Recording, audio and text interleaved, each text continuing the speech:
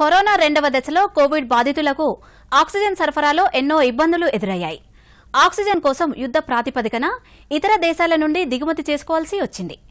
ఈ నేపథ్యంలో కేంద్ర రాష్ట ప్రభుత్వాలు ప్రధాన ఆసుపత్రుల్లో ఆక్సిజన్ ప్లాంట్స్ ఏర్పాటు చేస్తున్నాయి. ఇందులో భాగంగా హైదరాబాద్ కింగ్ కోటి ప్రభుత్వ ఆసుపత్రిలో కూడా నూతన ప్లాంట్ను ఏర్పాటు చేస్తున్నారు. టీఎస్ఏ ఆక్సిజన్ ప్లాంట్ను రోగుల కోసం ప్రత్యేకంగా ఏర్పాటు చేస్తున్నారు. డీఆర్డీఓ సహకారంతో టాటా కంపెనీ ట్రైనెంట్ ఇక్కడ ప్లాంట్ను ఏర్పాటు చేస్తోంది.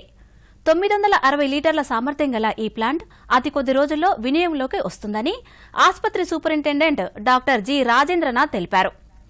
ఈ ప్లాంటులో ఉత్పత్తి ప్రారంభమైతే ఇతర ప్రాంతాల నుంచి ఆక్సిజన్ తీసుకురావాల్సిన అవసరం ఉండదని ఆయన తెలిపారు. ప్లాంట్ ఇన్స్టాల్ చేయబడింది. దీని ఆల్మోస్ట్ వర్క్ ఆల్మోస్ట్ అయిపోయింది.